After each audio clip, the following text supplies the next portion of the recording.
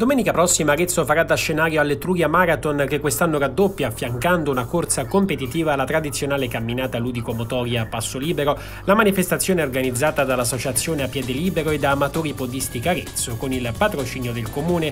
La camminata non competitiva è strutturata su cinque percorsi con un grado di difficoltà crescente. Due percorsi della corsa competitiva, anche questi di difficoltà variabile. Quest'anno con l'appoggio dell'Associazione a Piede Libero abbiamo organizzato queste Tuia Marathon che comportano percorsi di camminata e due percorsi di corsa di gara podistica da 12 km e da 32. La 32 km è una corsa che si snoda per il Monte di Lignano e per il percorso completamente boschivo e poi tutti e due i percorsi passeranno sotto le mura di, San Cornelio per dare risalto a, alle, alle Truia, l'Etruria Marathon che è il nome che dà alla corsa. Insomma. Domenica 8 settembre con partenza alle ore 7.45 da Villa Severi.